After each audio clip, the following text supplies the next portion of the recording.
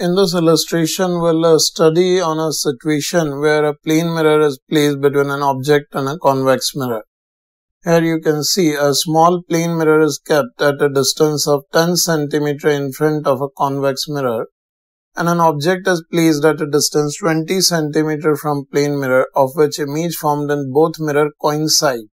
Here we are required to find the focal length of this convex mirror. Here in solution, we can first see where the image will be obtained in the plane mirror.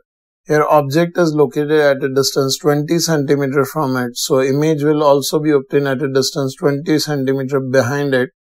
That means at a further distance of 10 centimeter, this is the position where the image of this object will be formed in mirror 2, which I can denote as I2.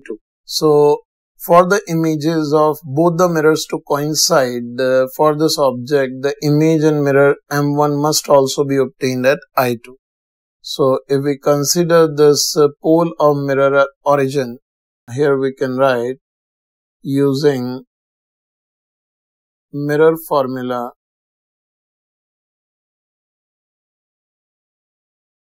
on mirror M1 here we can see for this mirror M1 we can take the object distance U to be minus 30 centimeter.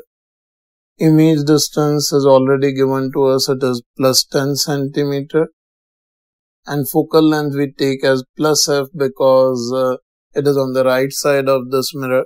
Here uh, in mirror formula we can use 1 by v plus 1 by u is 1 by f this implies the value of focal length we are getting is uv upon u plus v which will be minus 30 into 10 divided by minus 30 plus 10 is minus 20. So on simplifying this uh, we are getting it as 30 by 2 this 15 centimeter that is the answer for this problem.